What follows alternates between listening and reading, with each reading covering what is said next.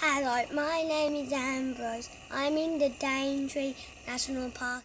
Um, and there's a caterpillar here which is black and orange and it's coming out of an egg. Yeah. And there's not much to see here, but still, it and it's got a bit of fur on it. A Bit fur. Fur, yeah, fur right there. Oh, just wiggled its tail. Yeah, it must be tired after coming out of its egg.